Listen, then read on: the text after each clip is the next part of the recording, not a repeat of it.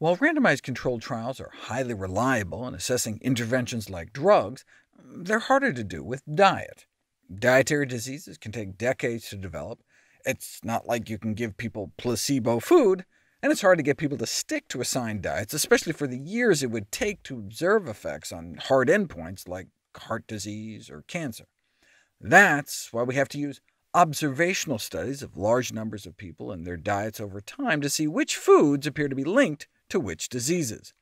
And interestingly, if you compare data obtained from observational population studies versus randomized trials, on average, there's little evidence for significant differences between the findings, not just in the same direction of effect, but of the same general magnitude of the effect in about 90% of the treatments they looked at.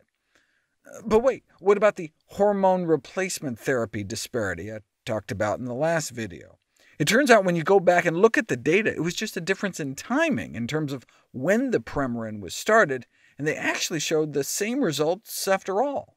But even if observational trials did provide lower quality evidence, maybe we don't need the same level of certainty when we're telling someone to eat more broccoli or drink less soda, compared to whether or not you want to prescribe someone some drug. After all, prescription drugs are the third leading cause of death in the United States. It goes heart disease, cancer, then doctors.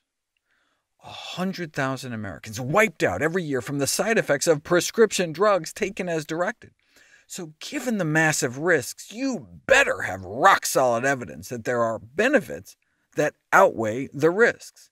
You're playing with fire, so darn right I want randomized, double-blind, placebo-controlled trials for drugs, but when you're just telling people to cut down on donuts, you don't need the same level of proof.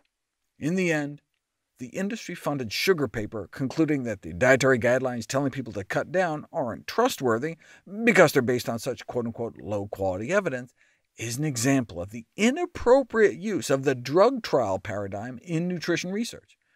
You say, yeah, but what were the authors supposed to do? If grade is the way you judge guidelines, and you can't blame them, but no, there are other tools like, for example, Nutrigrade, a scoring system specifically designed to assess and judge the level of evidence in nutrition research.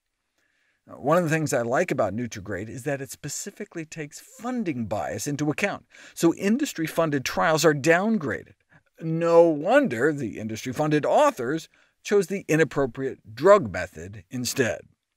Helm is another one. Hierarchies of evidence applied to lifestyle medicine, specifically designed because existing tools such as GRADE are not viable options when it comes to questions that you can't fully address through randomized controlled trials.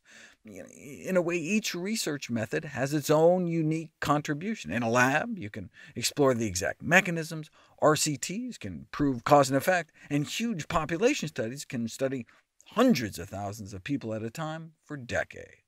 Uh, take the trans fat story, for example. We had randomized controlled trials showing trans fats increased risk factors for heart disease, and we had population studies showing that the more trans fats people ate, the more heart disease they had, and so taken together, these studies forged a strong case for the harmful effects of trans fat consumption on heart disease, and as a consequence, it was largely removed from the U.S. food supply, preventing as many as 200,000 heart attacks every year.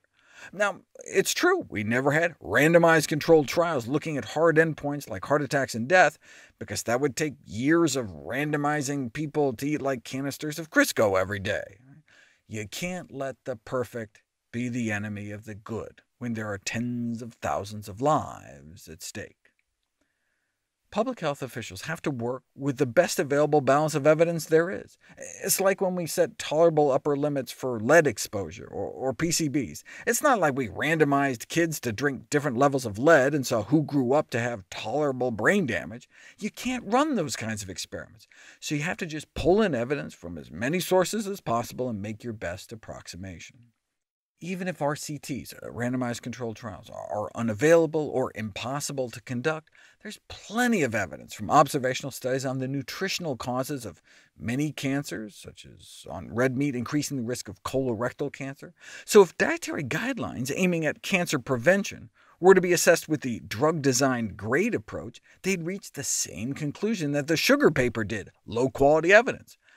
And so, no surprise, a meat industry-funded institution hired the same dude who helped conceive and design the sugar industry-funded study, and boom, lead author, saying we could ignore the dietary guidelines to reduce red and processed meat consumption, because they used grade methods to rate the certainty of evidence, and though current dietary guidelines recommend limiting meat consumption, their results predictably demonstrated that the evidence was of low quality.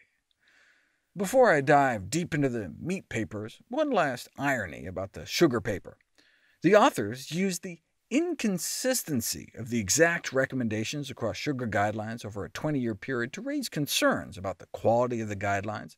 Now, Obviously, we would expect guidelines to evolve, but the most recent guidelines show remarkable consistency, with one exception.